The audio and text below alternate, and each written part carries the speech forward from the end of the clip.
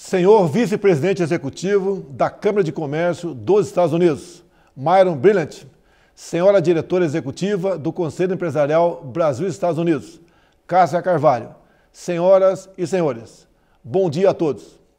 É uma satisfação dirigir-me ao Conselho Empresarial Brasil-Estados Unidos e falar com pessoas tão interessadas na construção de um futuro melhor para o Brasil. Nossa parceria com os Estados Unidos está alicerçada em dois pilares básicos. O primeiro é a convergência de princípios, valores e objetivos. O segundo é a busca de benefícios concretos para as nossas nações. Nesse último ano e meio, em parceria com o presidente Donald Trump, elevamos as relações entre o Brasil e os Estados Unidos ao seu melhor momento. E, com isso, inauguramos uma nova etapa no relacionamento entre as duas maiores economias e democracias do hemisfério. A prioridade que o Brasil confere a essa relação é clara e sincera. Desde o início de meu governo, visitei os Estados Unidos em quatro oportunidades e em todas estive com o presidente Trump. Além disso, nossos ministros têm trabalhado em ritmo acelerado em busca de resultados que contribuam ainda mais para a prosperidade de nossos países. O balanço dessa relação mutuamente proveitosa é bastante concreto e positivo Há poucos dias, representantes do Brasil e dos Estados Unidos concluíram, em tempo recorde, negociações de três acordos, há muito demandados pelos setores privados em nossos países. Um acordo de facilitação de comércio, um acordo de boas práticas regulatórias e um acordo anticorrupção. Esse pacote triplo será capaz de reduzir burocracias e trazer ainda mais crescimento ao nosso comércio bilateral, com efeitos benéficos também para o fluxo de investimentos.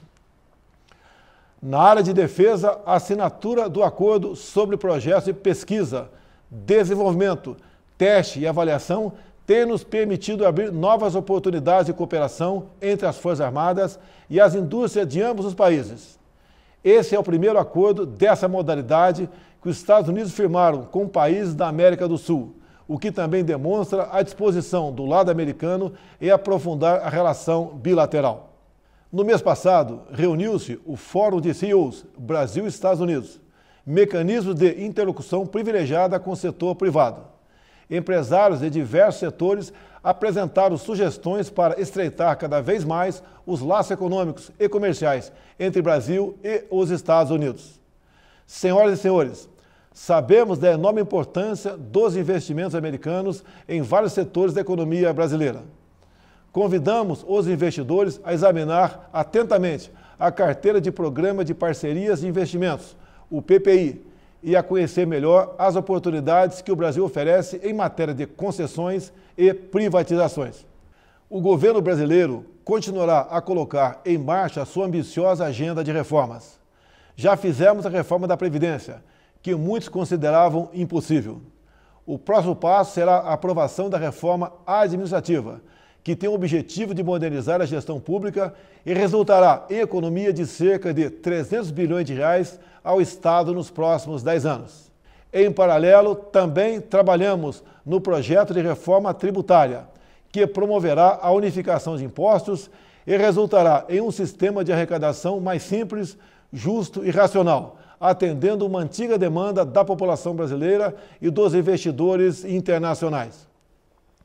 Sobre a inserção internacional do Brasil, passo importante é o processo de acessão brasileira à Organização para a Cooperação e o Desenvolvimento Econômico, a OCDE. A entrada na organização é um firme propósito do Estado brasileiro, para o qual temos muito nos empenhado, tanto em nível técnico quanto o político. Contamos com o fundamental apoio do governo dos Estados Unidos nesse processo, que será determinante para que se chegue a um rápido e favorável encaminhamento. O ingresso do Brasil na OCDE irá gerar efeitos positivos para a atração de investimentos nacionais e internacionais e será mais uma evidência da nossa disposição de assumir compromissos e responsabilidades compatíveis com a importância do nosso país no sistema internacional. Dedicamos, igualmente, especial atenção à promoção do comércio exterior brasileiro. Inauguramos portal na internet dedicado exclusivamente a ajudar as empresas brasileiras que precisam revisar suas estratégias comerciais em razão da pandemia. Os resultados têm sido muito satisfatórios. Outro importante estímulo para a geração de emprego e renda, assim como para a promoção do desenvolvimento sustentável, são as transformações que nossos países têm promovido na matriz energética. Estamos abrindo o mercado de gás natural, o que aumentará a oferta de energia barata para a população e indústria.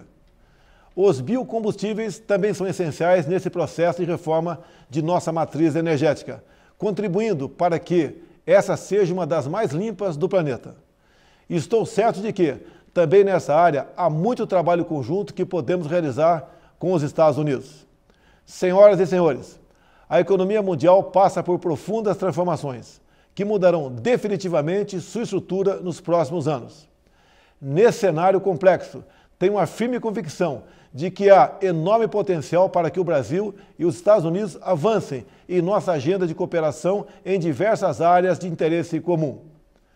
Para o futuro, vislumbramos um arrojado acordo tributário, um abrangente acordo comercial e uma ousada parceria entre nossos países para redesenhar as cadeias globais de produção. Somando nossos esforços, certamente superaremos mais rapidamente os impactos sociais e econômicos da pandemia. Espero contar com a firme participação dos senhores nessa desafiante missão. Muito obrigado a todos.